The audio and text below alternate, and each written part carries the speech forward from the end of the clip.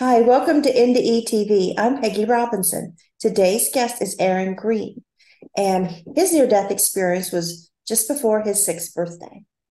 So, Aaron, feel free to start wherever you like and take as long as you like, and we'll talk about it. All right, thank you. Uh, well, I'll give a little bit of background about myself. Uh, I was born in uh, Durham, North Carolina in 1975. And when I was uh, two, my parents moved to Chesapeake, Virginia. Um, I, you know, spent most of my life in Virginia and I uh, went to Virginia Tech and got a degree in electrical engineering. And I'm married with uh, three teenage kids and a dog. And I work as an electrical engineer on, uh, I work at Newport News Shipbuilding on aircraft carriers and submarines for the basically for the U.S. Navy. Um, so my experience happened when I was uh, shortly before my sixth birthday. Um, I was playing with some friends in a, uh, neighbor's backyard, and you know we were just uh, you know back then kids just kind of roamed the neighborhood, and you know we were just playing, doing kid stuff, and somehow I uh, I, I couldn't breathe. Um, you know, one minute we were just doing kid things, and then next thing I know, I, I just can't breathe. And no matter what I do, um, you know, I'm unable to take a breath and uh, I become increasingly uh, upset and frustrated. And, um, you know, I'm not, I'm not sure exactly what caused this, but, you know, I just, I could not breathe. And I, I started trying to walk home, um, but I only got, you know, 20 or 30 feet away from my friends. And um, the breathing problem didn't get any better. And uh, it triggered something. You know, I didn't I didn't pass out or faint, but I actually my consciousness left my body. You know, my my soul, my consciousness, my thoughts. You know, who I who and what I really am left my body, and I was able to watch and, and see my my body fall to the ground. Um, and so I was just uh, kind of like floating there next to my body, and um, you know, as I was floating there, uh, a, a couple things were immediately self-evident. You know, one is I'm more than just this this physical body that's uh, now lying on the ground. That was that was self-evident, and um, also I was uh, it, it was kind of like waking up from a dream. Only this physical reality that we live in was the dream, you know, and I was waking up to a uh, a higher state of consciousness. Um, I was more alert, more more intelligent, um, you know, it, it, was it was better than than being in this body. Um, it, it was kind of like being liberated, or uh, you know, uh, taking off an uncomfortable garment almost. Um, it, it, was preferable to to this kind of existence. You know, my, my body was healthy and, and good, other than the breathing problem. Um, but it was still not, it was still a relief to be uh, to be to be out of it. Um, anyway, uh, another thing that was re- that was self evident right away was there was something about time. Somehow the flow of time in this reality w- was a little different than uh, than what we are used to here on Earth. You know, living as people, it was just it was just fundamentally different, and that was that was all self evident. Um, I looked over it at my friends that I've been playing with, and I could see them, and and they didn't realize that anything had happened to me um, but what had seemed so important, you know, all the stuff that we were doing, it now seemed just completely trivial. Now that I was, uh, you know, existing like this as a as a as a soul without a body, um, almost immediately, my my entire life, those those six years of life, replayed for me um, in extreme detail. Uh, you know, I relived my entire life from birth all the way up to that moment um, only um, the the the difference that really stands out is that not only could I feel you know my feelings and thoughts from uh, from those six years, but I could also feel other people's thoughts and and their emotions and how I had, had affected them. Like like I really felt the feelings that I had caused other people to have. And, and as a six year old, it was mainly my parents. Um, a, a couple things really stood out from uh, from that th- that replaying of my life. One was my my mother's love for me. You know that really stood out. That uh, uh, it came across as as you know this is this was important that she loved me and that it was uh, um, you know, from a spiritual perspective, it kind of seemed small, and yet at the same time, it seemed like it was important. Like it was it was fundamentally in, in, important and and um, significant enough that it had an impact on on like the whole world. You know, just that love that she had for me, uh, and then also my my father's frustrations really uh, they uh, they came across. You know, as, as a as a baby, I would cry and you know have a dirty diaper that kind of stuff. And I could really feel my father's frustration and sometimes anger at uh, you know dealing with that. You know, I, I um, it, it it also came across that even though I had caused those frustrations for my father, like it wasn't my fault, and and that was like self evident during this uh, th- this replay of my life. Um, I had not done anything deliberately wrong, so I didn't like um, so, somehow that seemed significant that, that even though I'd been the source of this frustration, I hadn't done anything wrong. Um, anyway, it, it, it was, uh, it, it, seemed very brief. You know, those six years of life, uh, it seemed extremely short from this spiritual perspective. Uh, it, it, it felt like I had done absolutely nothing, you know, but like, like, like that life was, that six years was like trivial. I hadn't made any significant uh, decisions. I hadn't, you know, I hadn't, I hadn't done a whole lot. Um, anyway, you know, when when that life review was over, um, I could have looked at more details if I'd wanted to. I could have explored any kind of uh, any aspect of my life that I wanted to. It was, um, you know, it was there for me to, to look at, but um, I was more interested in the greater reality than I was in those six years of life. Um, so I, I, started looking around and I noticed a, a bright light in the distance. Um, it, there was something about it that I knew was very important. Um, th- there was some kind of deeper meaning there, but I didn't uh, I didn't remember what that deeper meaning was, and I didn't pursue it. You know, I I, I looked at it and knew it was important, but I, I turned my attention elsewhere. Um, and so I was back to you know floating floating there next to my body, just kind of aimlessly, uh, almost like wandering around a little bit. Um, and I started to have uh, questions. You know, I, I, questioned what had happened and, and what was going on. And as I would have a question, I would get get answers. Basically, I'd be shown stuff or given answers that that answered my questions. And and the first question I had was, you know, what am I? Uh, you know, I knew I wasn't this this human. I knew I was more than this body that I had been living in, but I didn't understand what I was or, or what was going on and um, I was able to to see myself as as this spirit at the time. I was basically a round orb of consciousness. Um, it, it kind of reminded me of an egg as a child when I was later trying to understand this. Um, just just kind of a round orb, and there was a faint light coming from uh, from myself from this orb. Um, you know, faint but noticeable and uh, there was kind of a there was like a deeper there was more parts or a deeper meaning to uh to to this round orb but i, I didn't understand them and I, I couldn't really explain them but that's how i existed at that point was just as a round orb of consciousness um and you know after i i looked at myself and saw that i was just this round orb i thought okay you know that's cool that's fine um and then I thought, you know, where where did I come from? Because I knew that, you know, I came from something before this uh this this human, this person I had been living as. Um, and a memory came back to me in, in extreme detail. It's like I re I re-experienced this experience that I had been through previously, but I'd, but had forgotten about while living as a person. Um, so it, it kind of like flashed back and, and I re-experienced this, and it began as I was uh, I was a, a round orb of consciousness, a soul, just like I, I was in, in that situation, um, and I was back with um, hundreds or thousands of other souls, and we all existed together in a, a, a group of souls in this uh, extremely bright, um, you know, just uh, I guess I would call it a, a, sea of souls, and we were all bathed in light. And we were you know we were happy and content but we were also so extremely ignorant. Um, and that that was my earliest spiritual memory.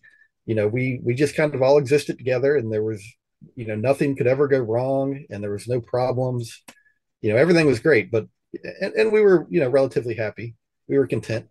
Um, and uh, periodically, a uh, some kind of treat would come down for all of us. Like there would be one treat for every soul, and we all knew we all knew what we were getting. It was something that made us happy somehow. Uh, as a kid, it reminded me of uh, like getting a cookie. You know, it, wasn't something you needed, but when you got it, you, you know, you were happy to get it. Um, and um, you know, one time these treats came down for everybody, and there was one fewer treat than there were souls in this group. And I made the conscious decision that okay, I I, I knew we, we all knew that there was one fewer treat than there were souls, and I made the conscious decision uh, that all these other souls around me that are just like me, and I'm going to pass up my treat so that all these other souls can get their treat. And all the all the treats came down, and every soul got one except for me. And and after the last soul got the last treat, I was very very gently lifted up out of this uh, the sea of souls, and um, uh, I I was communicated with like a uh, it was like a mind to mind communication, like a tele- t- telepathic communication. Uh, you know, it wasn't words or, or audible, uh, but but a, a so somehow a higher level entity uh, communicated with me and basically communicated that what I had done was very important. You know that it was that it was a really good thing what I had done, giving up something that I wanted for the benefit of those around me. Like like that was really wonderful. Um, and th- this entity communicated that it was my creator, that it, it had made me, and that um, I was loved and and cherished and, and important. And you know, not just that I was important, but but all these souls were important. Um, and that um, you know, for, for simplicity, I'll just I'll just call my creator God. Um, God communicated that um, there was a wonderful, wonderful existence prepared for me and for all these other souls. And that um, you know there was a, a, terrific you know just wonderful uh, experience before us. But um, but i wasn't really ready to appreciate that that there was a um, some basically some stuff i had to do to prepare myself so that i could fully appreciate what god um, had prepared for me um, as i understand it the, the explanation i got was um, uh, you know, we were created with free will, and um, in order to appreciate everything that that God had in store for us, we needed to freely um, embrace the godly characteristics that that God had. Um, you know, God was loving, forgiving, compassionate, kind, um, generous. You know, and in order for me to to fully appreciate God's wonderful um, existence that, that that was ready for me i needed to you know exercise my free will and and also choose those same things those loving uh those loving attributes that god already possessed. Um you know it, as i understand it or, or understood it we, we were like uh, you know a tiny piece of god. And um we have free will and in order to appreciate this experience we have to um or, or we need to freely embrace all these godly characteristics. Um, so I asked God, could couldn't you just change me? Couldn't you just make me like I needed to be so that I could appreciate all this stuff? And God's response was, yes, absolutely. God could certainly change me uh, and make me like that, but it would. Uh, but, but we were fundamentally created that free will was an important part of our creation. That we were not created to be like mindless servants or, or slaves of God, but we were created uh, that we would be able to freely choose what we wanted, and that that was like a core principle of our creation. Like it was very important, and God wasn't going to violate that free will uh, and change me into uh, this uh, kind of soul that I was supposed to become. But God had prepared a, a, a journey or a, a, a school or whatever you want to call it for me that would that would allow me to freely reach this uh, these type of characteristics that that were necessary to appreciate what God had uh, in store for us. I said, okay, you know, okay, that sounded sounded okay, and I was I was extremely ignorant at the time, and God was extremely loving and wonderful and powerful, and so I accepted everything that that God said. Uh, and God asked, God basically said, you know, this is going to be difficult, uh, but you will get you know by going through this experience we'll get through all the difficulties of our existence. We'll get them out of the way and then we will be able to enjoy without uh, you know limitation this extreme uh, extremely wonderful existence. And uh, uh, you know i agreed to it. I said okay that sounds good. And god was very pleased with me uh, that i had agreed to to go go through this. Um, god was absolutely confident that this was a good idea that that this plan was perfect. You know this wasn't uh it, like this was really really well thought through this plan. You know I, I know living life it doesn't feel like that but in that in that moment with god it really felt like like i could feel god's confidence that this was a good a good plan that it, it you know that it was it was good. Um and so after i agreed to uh to this experience god asked if i wanted to to see god's face and I I I agreed. I said, okay, you know, sure. Um, and so my attention was turned away from these these other souls that I had been looking at, and it was it was turned towards um, a very similar scene with a whole bunch of souls together, bathed in light. And um, these souls were much much happier, and they were like um, they were like fully evolved souls. These were souls that had been through uh, the process that I was going to go through, and they had they were now mature souls, and they uh, uh, they all existed together in the sea of light, and they were extremely extremely happy, much happier than I had been uh, when I started out. And uh, there was you know millions and millions of these souls, and um, some of these souls came to they, they like came to the surface, and you know and looked at me, and they uh they understood you know what I was and and and that I was just starting out.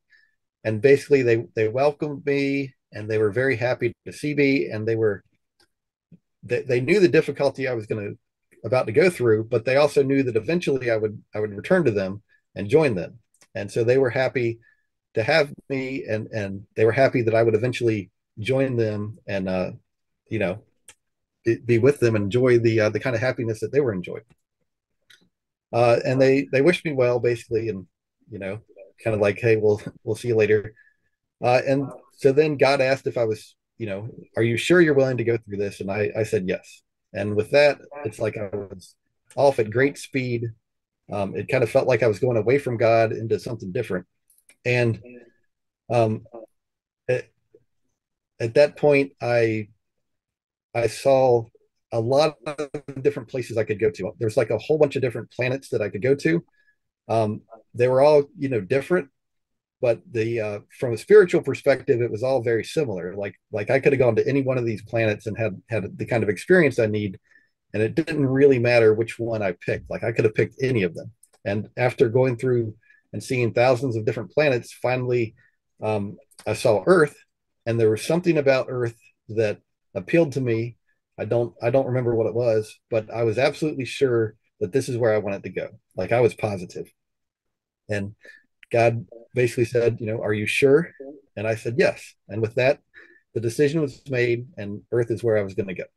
And with that, this memory ended and I was back to um, you know, floating there in the in my neighbor's backyard, kind of just aimlessly wandering around.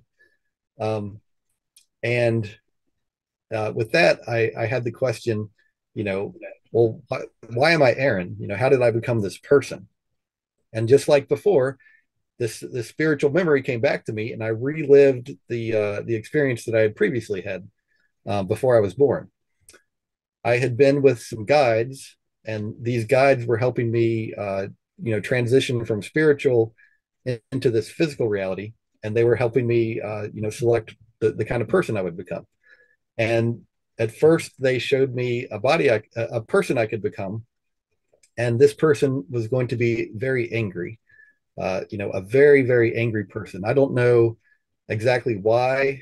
Um, maybe there was some kind of difficulty in their childhood, or or or something. I, I don't know, but this person, their whole life would be dominated by extreme anger, and I just completely rejected that that, that life. I said, no, I'm I'm not going to do that. I just completely refused and the guides they respected my wishes and um, you know basically agreed okay you know we'll, we'll find something different and uh, I knew that that some other soul would eventually choose to to live a life, live this life and, and become that person, um, and that it would be helpful for them. But I, I, didn't understand why anybody would choose that, but I knew that someone eventually would.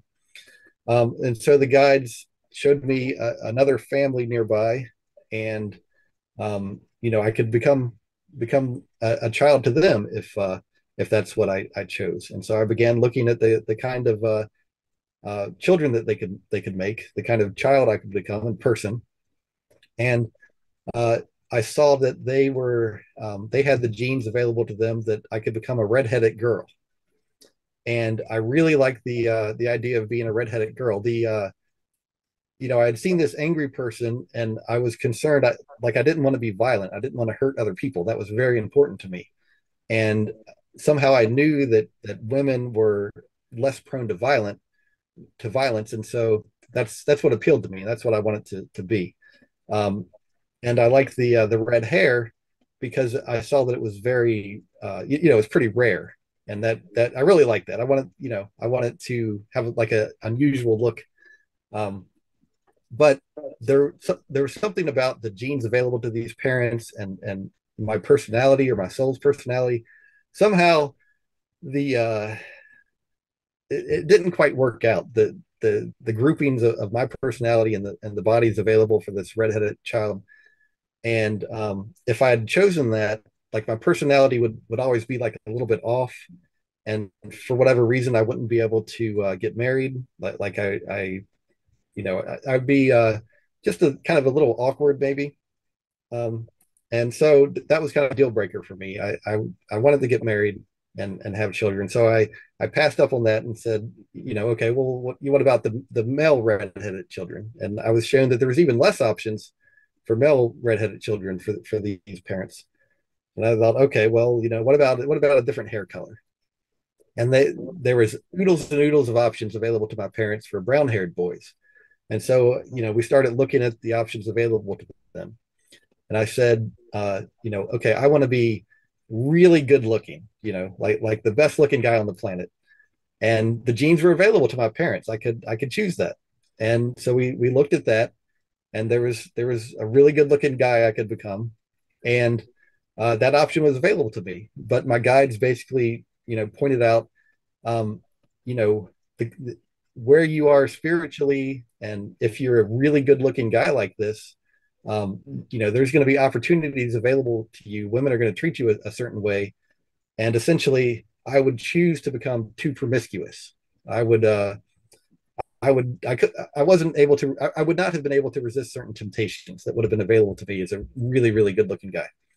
And spiritually uh, i recognized the downside of that and and basically agreed okay that that's not a that's not a good choice for me um so I chose to back the the, the attractiveness down to, um, you know, a, a, little bit attractive, but nothing, uh, you know, nothing remarkable.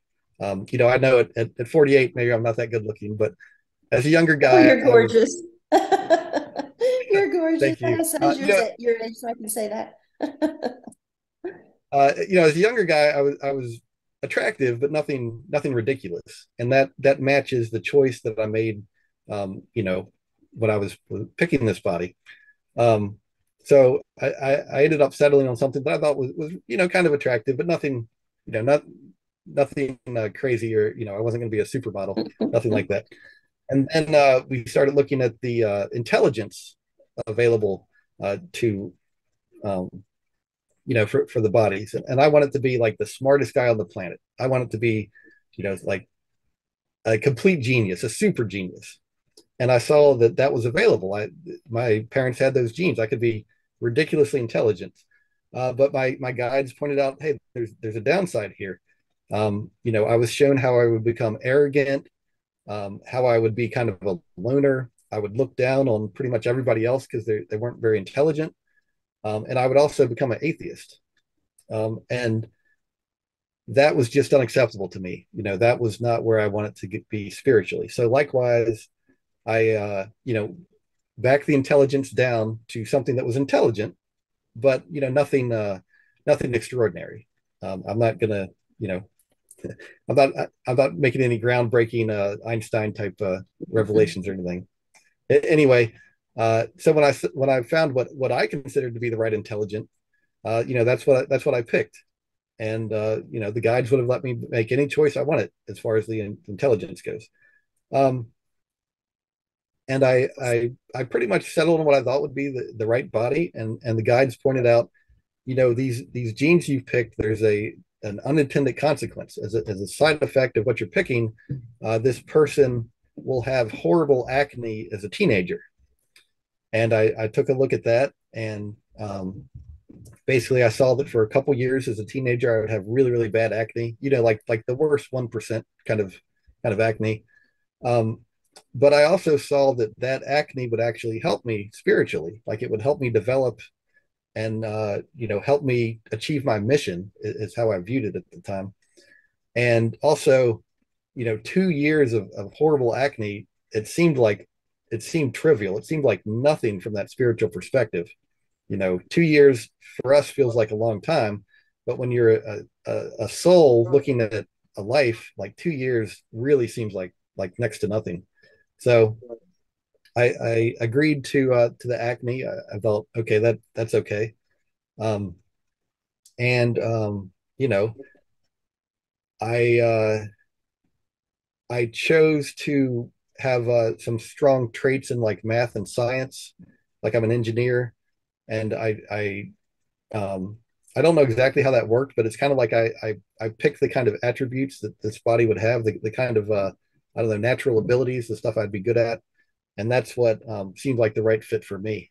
Um, I felt like with those attributes, I'd be able to be beneficial to uh, society, and that was that was important to me. And, and somehow it all seemed to work together pretty well for for what I was looking for uh, with life. Um, and then uh, you know my guides had some some stuff to to show me about about life. Um, we took a closer look at my parents. You know, I needed to accept that these parents were uh, that you know that I was okay with having them as parents. And um, you know, we took a a look at my my mom, and um, I saw that she had a uh, you know a spiritual agreement with one of her sisters, and that was a, a key element of her life. Like that was all shown to me. This isn't even something my mom knows about, but it was shown to me um, when I was picking the kind of parent I wanted. Um, and I, I we, we, looked at my dad, and he was um, a good parent, but he has he had anger issues when I was growing up. He would he would yell a lot when there was not really a good reason to, and my guides basically pointed that out to me. Um, but there was other attributes about him that I really liked, and um, I felt like it was a good fit. And and um, but I needed to agree that that I would accept that he had anger issues, and I, and I did because uh, I felt like it all it all worked together well for for my life and what I was looking for. Seems um, like picking out a game piece. You ready to play a game? Yeah, exactly. Yeah. And uh, I was showing my brother, uh, you know, I knew what kind of person he would be and, and how our relationship would be. Um, you know, I have a brother that, that is two and a half years older. And I, I knew that uh, when I was picking this life. Um, I knew uh, I knew what this body was down to the most intimate detail. I had an understanding of the, the personality I would have, even the, even the kind of clothes I would wear. Um, and anyway, when I uh, when we were finished picking this this body, the uh, the guide said, "Okay, well, there's uh, there's also some stuff planned for this life. Um, you're going to, uh, ha- you know, your your nose will be broken when you're a teenager." And they they showed me what that would be like, and um, you know, I needed to agree to that. It was it, it was of a sufficient enough uh, difficulty that I had to agree to it. And same with uh, a shoulder. I uh, I dislocated my shoulder, and I was shown that I would get have that injury, and I needed to agree to that. And then I was also shown that I would, uh, you know, dislocate and break my other shoulder, and that was also something I needed to agree to. Um, but I was also shown that the uh, technology existed that they would be able to, you know, fix my shoulder, and and I agreed to all that. And there was other stuff that they wanted me to do that I didn't agree to. There were some things that I turned down uh, that I, I said, no, I, I, don't want that. Uh, I kind of wonder now, you know, would it have been better if I agreed to what they, you know, everything that they had proposed to me, because it would, I guess, help me with my spiritual development. But anyway, we, we reached kind of a compromise on all these things. And, and I agreed to uh, you know the body, the family, some of the difficulties that were were already planned for this life. And you know when I uh, when I agreed, the, the guide said, "Okay, are you sure?" And you know I had a final chance to to reevaluate everything, and I I said yes, I'm sure. And when I you know just like previously when I when I said yes, I agree, then that was it. We the, the decision was made. Um, and with that, the uh, the memory ended, and I was back to you know floating near my body. And I had another question. Um, you know, I, I, I knew that at some point, you know, the, the body I was living in would die, and that everyone else would die eventually. And so I had the question, you know, what well, what happens to souls, you know, after they're done with life? You know, what what happens to them? And so I was shown a number of different scenes or, or places or realms where where different souls go. Um, I saw a realm where um, you know this was kind of a this is a very unhappy realm. Um, I saw souls that were uh, that had lived you know they had lived a human life, but they were uh, they were like violent towards each other. They uh, they wanted to kill each other essentially. Uh, these were people who, who in their life they really wanted to hurt others. And when they died, they still wanted to hurt others, and God, respecting their free will, allowed them to continue to do what they wanted to do. Only they were, you know, they were with each other, and uh, they looked. Uh, th- their appearance was really ugly. They were these hideous uh, creatures with. Uh, uh, they had like claws for arms, and they were they're really ugly, and they were they were miserable, and they were just fighting with each other constantly. Um, and no matter how badly they would hurt each other, their bodies would quickly heal. It, it, like it wasn't a permanent injury. The, the, the, pain and suffering was far worse than what a person could have on Earth. Um, but their healing was like immediate, you know, not immediate, but almost immediate. They would quickly recover from any injury, no matter how bad. But they were just absolutely miserable, and they hated each other, and they they had absolutely no hope that anything would ever change, that their existence would ever get better. They were completely miserable. Um, but while these souls were fighting with each other, one of them made the choice to stop fighting. It, it basically chose to stop fighting with those around it. And when it made that choice, uh, there had been some some beings of light or, or high level souls or angels. I'm not sure what they were, but anyway, one of these angels or whatever that was uh, above this big fight scene swooped down and pulled this soul that had stopped fighting. It it pulled it out of this big melee, and uh, I was told that they had a way for this soul to continue to progress. That that none of these souls were going to be trapped there forever. Uh, that there was a way for all of them to get out when when they were ready, when they themselves chose to stop trying to kill the, the ones they were with. And then I was shown another scene, um, a, a, scene of, uh, you know, it was like completely dark, but but I could I could make out some of these souls that were standing around, um, I, I speculate that they were they had been atheist in life, but I'm not sure. Um, but they were they were just in complete darkness, and they weren't they weren't miserable, but they were a little bit unhappy, and they were very confused. And there was um, some higher level souls of, that that had a light to them. Um, they, they seemed like they were um, happier, higher level souls that had come down to this realm to try to help all these these souls that were lost and confused and um, you know these these higher level souls were offering to help these lost and confused souls but the lost and confused souls they were mistrustful and they were not the type of, of soul or, or person that would help someone else. So for them the idea that someone would be there to help them was very confusing and it was it was like foreign. It was it was outside their way of thinking so they had a lot of trouble accepting that that someone would be there to help them. But eventually uh, one of the souls that was that was unhappy accepted the help from the the higher level soul and agreed that that they would go with this higher level soul who who had some kind of way to help them. Um, and when uh, when they agreed to the help, the the higher level soul took them away, and they they had some kind of way that this unhappy soul could continue to progress and get better and uh, improve or, or whatever. And I was told again that every one of those souls that were there, eventually they would accept help and eventually they would be able to uh, to progress. And I, I saw uh, another scene where um, or a realm where unhappy souls lived, and they weren't miserable, but they were they were generally unhappy. and it looked a lot like Earth, uh, except I knew it wasn't Earth. Um, they had buildings and and roads, and all, the buildings were kind of ugly, and the the roads were just dirt roads, um, and it was kind of dark. You know, it wasn't a happy place, but it also wasn't like absolutely miserable either.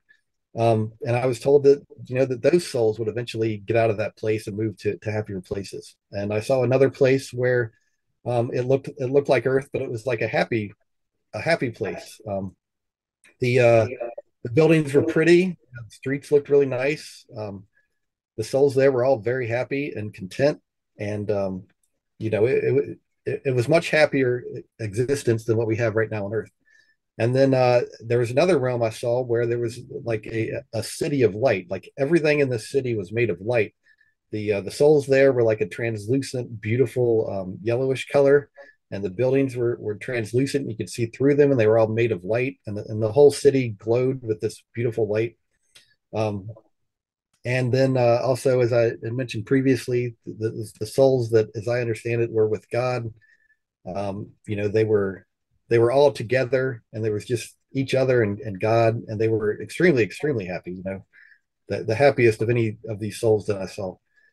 Anyway, um, as I was, w- when this was done, I was back to floating uh, with my body. Um, and I somehow it occurred to me, I was like, oh, yeah, I remember now. When I'm done with this life, I can go home. And to me, I thought home was this uh, city of light that I had seen. And I also remembered that I had friends and that I could rejoin with my friends. And that that made me so unbelievably happy. This idea that I could could rejoin my friends. And I I uh, I knew or, or remembered that um, there's like a, a trait about souls that are happy. They can kind of like merge together. You know, humans we we have like a, a sexual merger that that's good um, but souls have have a deeper merger that's much more significant, much more pleasurable. And I, I remembered that, and I was I was really looking forward to it because I had some friends, and and you know we were I don't know we'd be happy, and I, I kind of even thought, why on earth did I ever leave that? Um, anyway, while I was thinking about that, and I was filled with happiness of the idea that I could go back to that, a high level soul or an angel or or something like that, you know, this this this being didn't have a name tag and didn't explain who they were, so I'm only speculating. But I would speculate it was some kind of angel. Um, you know, a very bright, extremely, extremely beautiful soul came at me at great speed and communicated with me, "You are not to leave your body." It was like I was being rebuked, like I had done something wrong. Um, as I understand it, my my breathing problem should not have been significant enough for my soul to leave my body. It was kind of like I had misbehaved as a soul uh, by doing this. I, I, you know, I'm not sure. I'm just kind of speculating here. But anyway, as, soon as as soon as that was communicated to me, it's like bam, I was back in my body, and I I you know I, I stood up and my breathing problem was gone. And I was I was confused about what had happened and at that point, my brother had had come over to see what was wrong with me because I guess from his perspective, my body was just laying there on the ground for maybe about 30 seconds or so. But when he saw me stand up, he uh, he just went back to play with the friends. You know, he figured, okay, he's fine. Um, so then I, I walked home and I, I, tried to explain what had happened to my my mother, um, but you know, at the time I had a, a speech impediment. Uh, you know, there's a lot of I had years of speech therapy to learn to to talk better and I, I was I'm kind of an introvert. You know, I I, I didn't I wasn't good at explaining myself. So I, I there's no way I could explain this to my mother when I was six years old. So she didn't understand what I was trying to say, and, and I gave up trying to trying to explain it. But I would think about this experience like daily. You know, I thought about it a lot. And after maybe six months, um, the uh, the the guide that I've been working with, or or guides, they communicated with me, uh, you know, mind to mind communication again, and they basically said, "Hey, uh, we're going to need to hide your memories. They're they're interfering with your life. Um, you know, this this is uh, basically it's interfering with my ability to live life the, the way life is supposed to be lived." and that because I had seen so much, I could never develop faith. It's like it's like I had knowledge of God and that would prevent me from ever developing faith in God, and that faith in God is very important.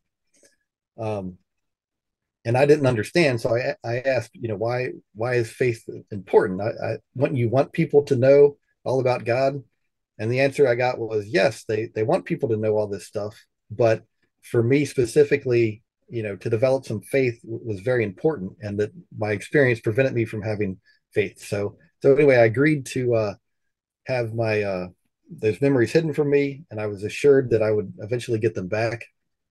And um, I was also shown that that uh, or, or told that there were some changes to my life plan based on what had happened, and that some things would be more difficult for me, and I had to agree to it, which I did. Um, and uh, then after that, I, I didn't think about you know my my experience at all. Um, you know, I went through life. I, I grew up. Um, and uh, when I was 12 years old in seventh grade, I got into a basically I got into a fight and had my nose broken. Uh, that was a very difficult experience, but uh, you know, at the time I had no memory of of what had happened, uh, or you know what I had agreed to.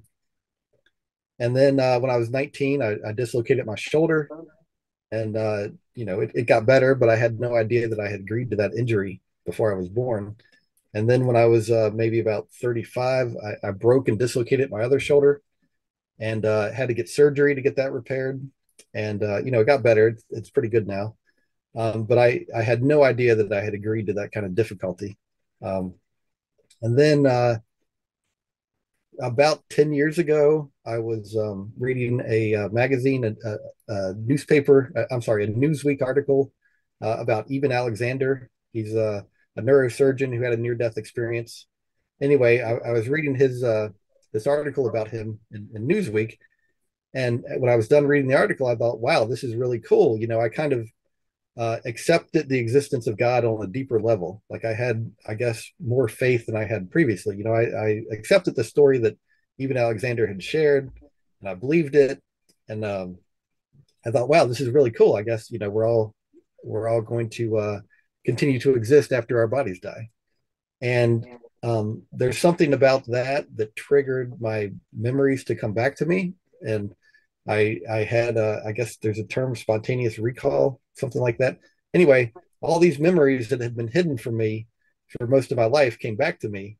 And you know, I spent the last uh, 10 years trying to understand all the stuff I'd, I'd been shown and, and try to, you know, uh, appreciate it and uh, you know now I'm trying to to share what I what I saw with others. So you know that's uh, that's the gist of my story. So when you saw God, am I understanding correctly? He was a sea of people. It... Uh, yeah, what I saw was kind of like a sun-like entity. You know, it looked it looked literally like the sun, except there was you know millions and millions and millions of souls all merged together you know with god. They were like part of god. Um, they were they were simultaneously their own um, entity and yet simultaneously merged with god. Um, uh, you know i'm not you know I, I can't really do it justice but yeah basically it was a whole bunch of souls all together with god. Like each soul was a tiny piece of god did you ever see anything other than that any kind of form a face uh, well, well, the souls that I saw all they all had a face, um, and so what I saw was the face of God was like millions and millions of individual faces okay. all uh, all together. What about his voice? Was this telepathic, or did you hear an audible voice? What I uh, what I received was like a telepathic communication, um, so it wasn't like an audible voice. Um, what I remember about God's uh, you know that, that communication was God was extremely loving and kind and compassionate and, and cared about me deeply, and that God was very you know confident and uh, powerful, and you know all, all the different attributes of love you could think of, like all of those were embodied by by God and, and the way that I was treated uh, during those interactions.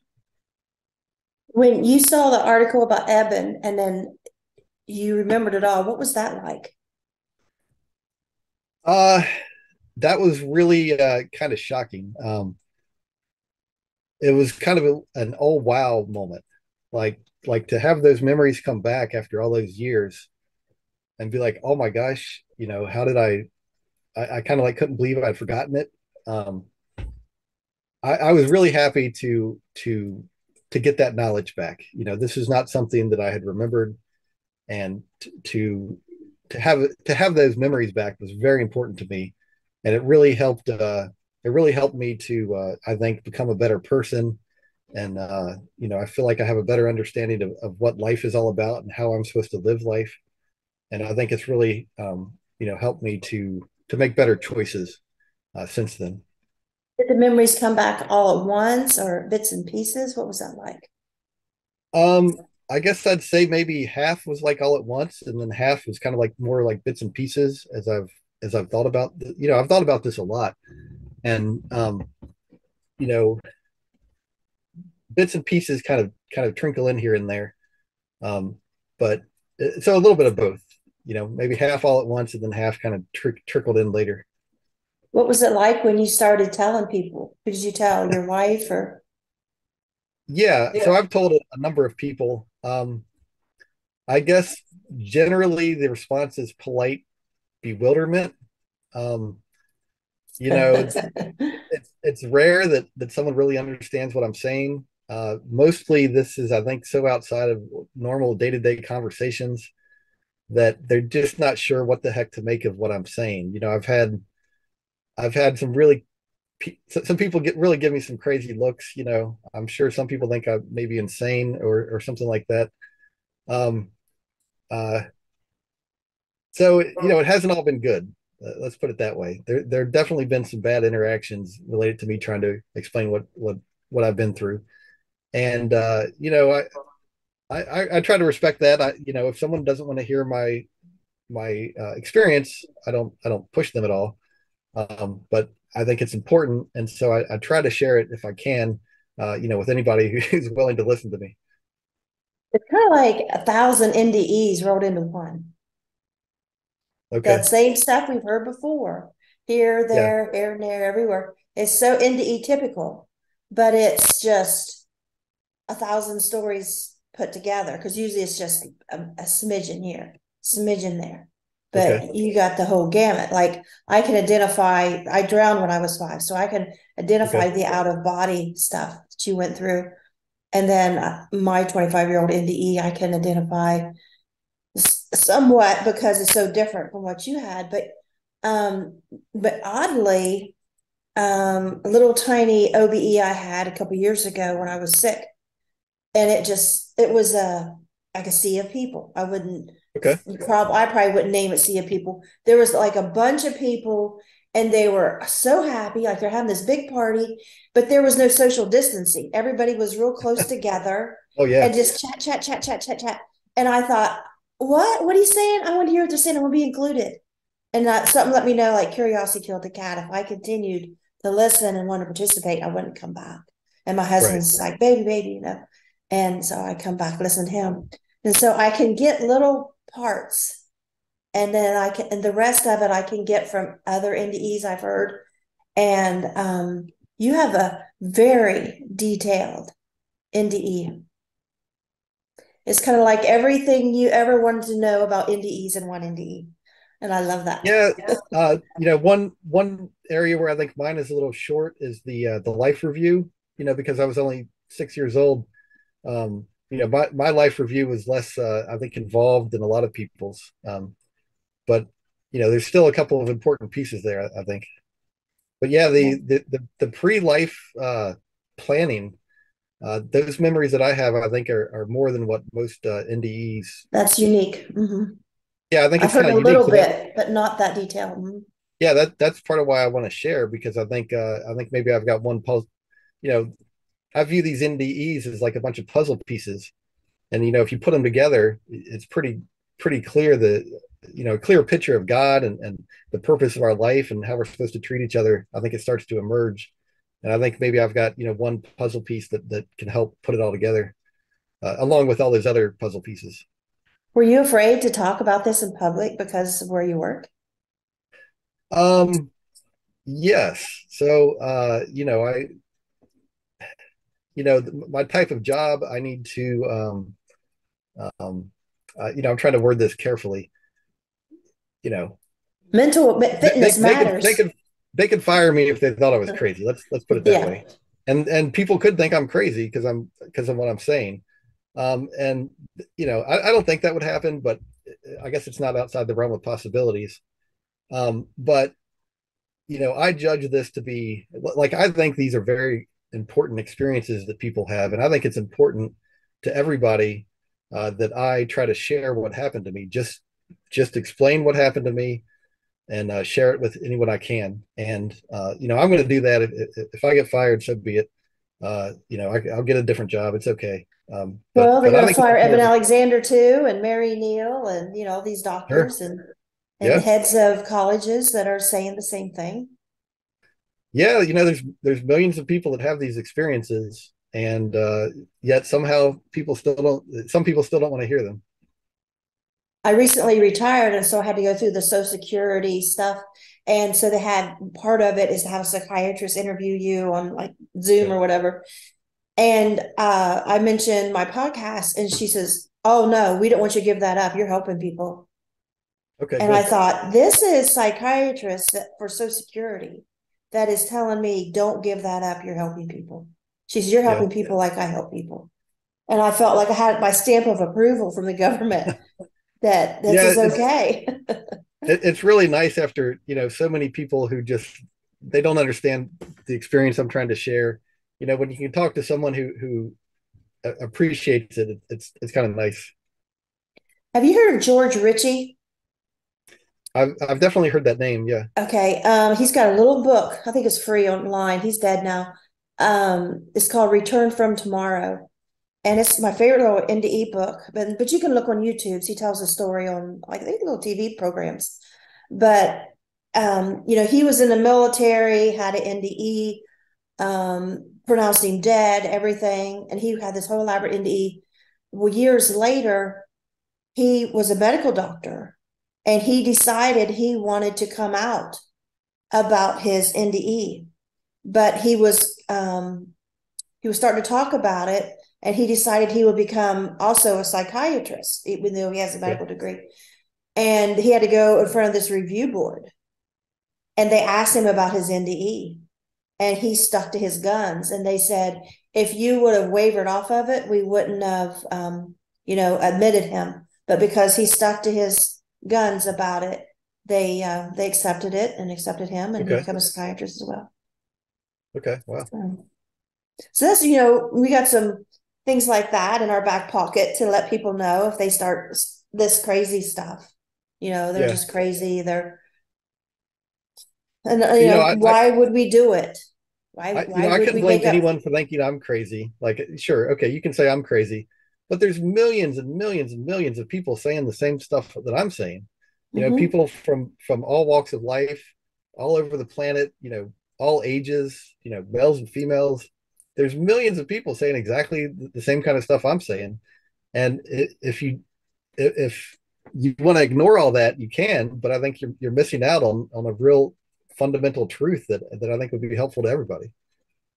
A big confirmation for me to start really taking these seriously was my son Jeremy. He's in his 40s now, but when he was five, he slipped in the um, creek and was drowning. And I was frozen in fear and I was praying. And I left my body. And I think it's because I left my body before from my drowning right, five. Right. And because I just I was praying so hard, I was so scared, this fear that it's like I left my body. And suddenly I was in this, I call it land of knowing, where we were. We were out of our body as kids. And I had, the, suddenly I just had this knowledge. I just knew, oh, because I didn't know what was happening. His older brother yelled, Mom, Jeremy. And so I didn't know. So I'm just praying. I didn't know what was happening. And all of a sudden I knew, oh, Jeremy fell in the creek. Usually the creek is just ankle deep. We've had a lot of um, melting snow and rain. It was Easter. And it's um, swift, but it's not that deep. If he would calm down, stand up, he'd be okay. But he was drowning. And, and his dad was running, trying to find out where the boys were. And I'm standing on the hill, frozen in fear, praying. And all of a sudden, I just started praying to Jeremy, like I'm praying to him in a prayer instead of God. And I said, Jeremy, calm down, stand up. It's not that deep. Walk out of there. So when he was about 20 years old, he's had a New Year's Eve party. And I told that story for the first time. I had never talked about it. And I don't even know why, you know, it brought come up. And he stepped out of the kitchen. I didn't know he'd hear me. And he said, Mom, I heard you praying. He says, That's what it was. I panicked. I was trying to swim through that current. And when you said, Calm down, stand up, he says, That's what I did. And everybody in the room, you know, were mouths just gaped open. And I'm like, What? And so it wasn't right then, but like, because I, I don't understand this. Later on, so many things started adding up to this stuff's got to be real. And but that was the main thing. Was like, okay, my son Jeremy, I know he don't lie. And he's a very honest person. He would not say that he heard me praying if he did not. And he still to this day says, Yeah, I did. But he says, But maybe I heard you talk about it, mom. You know, and I just re you know, retold the story. I said, Jeremy, I had never talked about it before. Right. So, because he's trying to rationalize it, trying to make sense. How did I hear this? Because he don't be all woo woo. He's accountant for the federal government. right.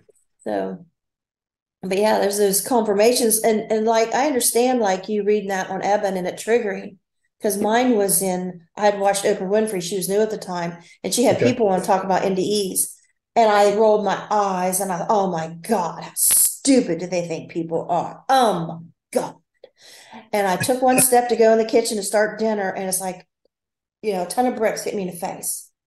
I was like, why does that sound familiar? And I was like, oh. Like I took a deep breath. Oh my God, it was real. What happened to me months before when I was 25, right. died of ectopic pregnancy, that was real. and I shook all over. It's shocking. Yeah, yeah, it's shocking. Yeah, it's definitely shocking for me when I got those memories back. So, what'd your wife say?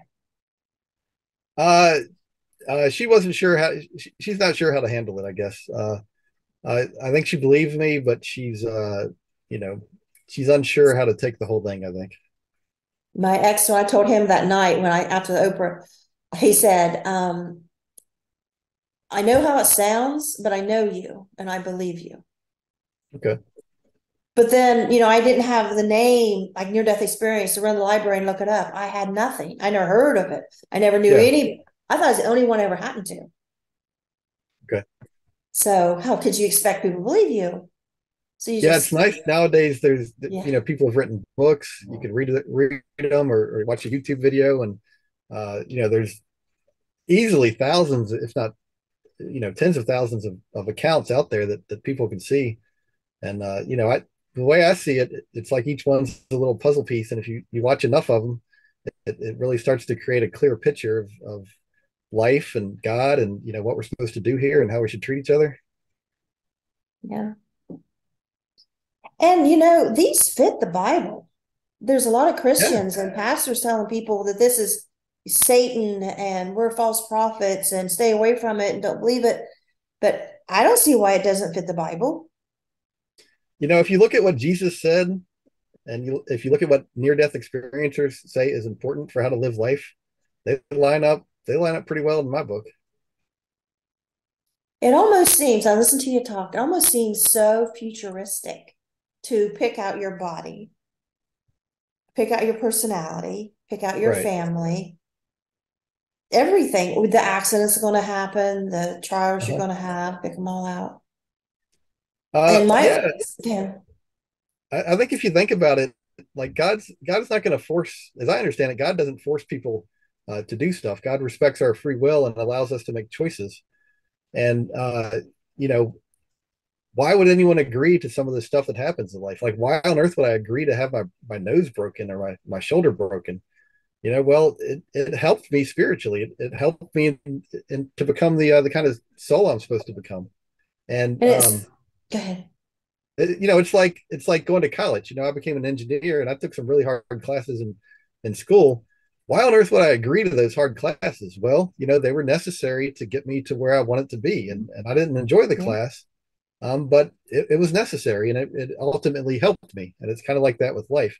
And then also, you know, life when you're when you're a soul looking at life like a year two years the whole life it seems really really short and it's really hard to as a human it's hard to appreciate how brief life uh, is from a spiritual perspective and so you know we're willing to it's kind of like ripping off a band-aid. You know, yeah, it hurts, but you can actually get it over with pretty quickly. And, and uh, I know it doesn't feel like that to people who are going through really difficult times, but but spiritually, that's that's how it appears.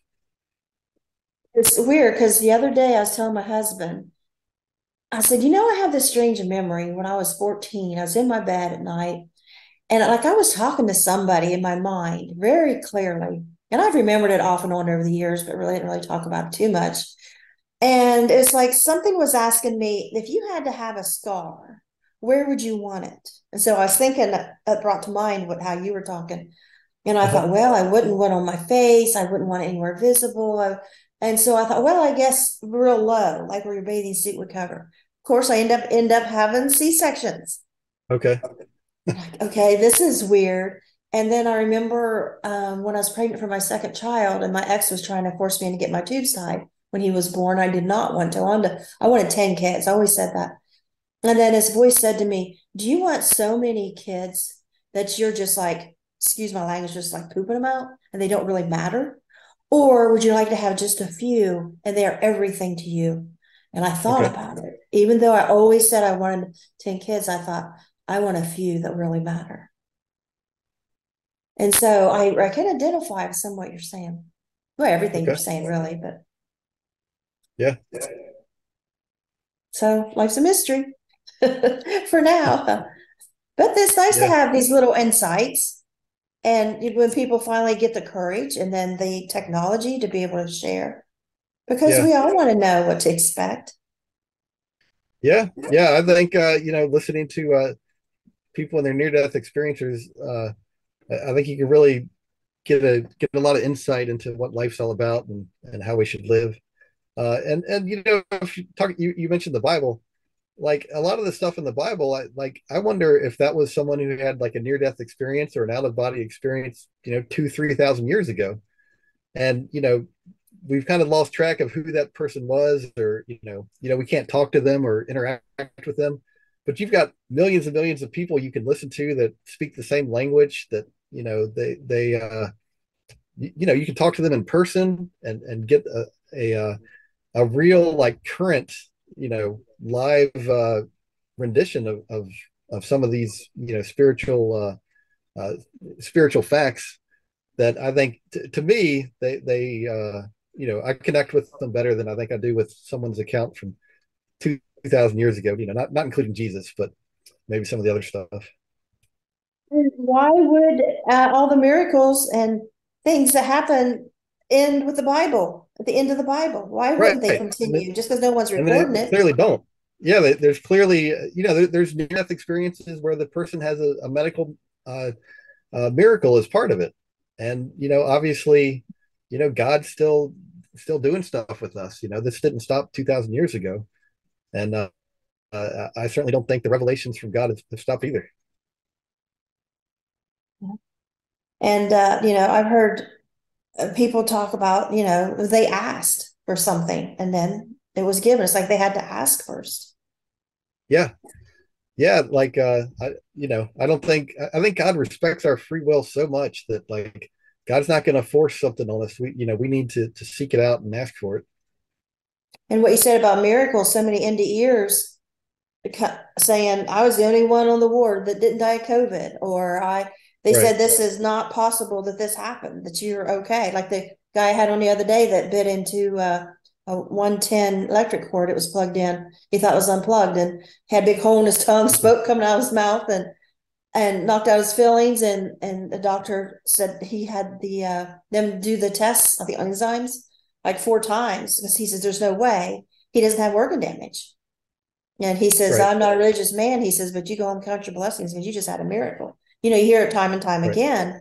It's like if you've had an NDE, there's going to be a miracle healing, you know, Anita Moorjani or, you know, the list goes on. And people that have yeah. these quick healings. And it seems like the hospitals should come to know, and I think the nurses do, because my mother-in-law was a nurse and she said, Oh yeah, they they knew. Like if you had an NDE, you was going to have a quick healing. Okay. Yeah, and uh if you listen to hospice nurses, uh, they talk about, uh, I guess, what's called deathbed visions, and it's kind of similar where you know people who are about to die, I think their their spiritual vision opens up, and they've they, you know we can get some information about the other side from from these people with their uh, you know when they're dying. Um, you know, and I, think if you put it all together, it paints a pretty clear picture of, of what's going on with our life. Well, I appreciate you coming on and sharing your stories. Or anything else you didn't get to cover, or you want to add? Uh, no, that's all. Uh, you know, if anybody wants to contact me, uh, you can find me on on Facebook, Aaron Thomas Green. I'm easy to find. Um, but yeah, I, I appreciate you letting me share my story, and and I really uh, appreciate what you're doing with your channel and, and trying to share these uh, experiences. I, I agree with your uh, uh, what do you say the uh, retirement person who, who said this is important. You know, I, I agree, and I, I think it's important, and uh, you know, I think it's great what you're doing. Thank you. Keep sharing your story. Now, have you wrote a book? Uh, I'm working on it, but it, it might not be out for a while. okay. Yeah, eventually, I'll eventually I'll probably have a book. Okay. Well, let me know when you do, and if you want to come back on, okay. we'll talk about it. Okay. All right. All right. Thank you. All right. Thanks, Pegi. Bye.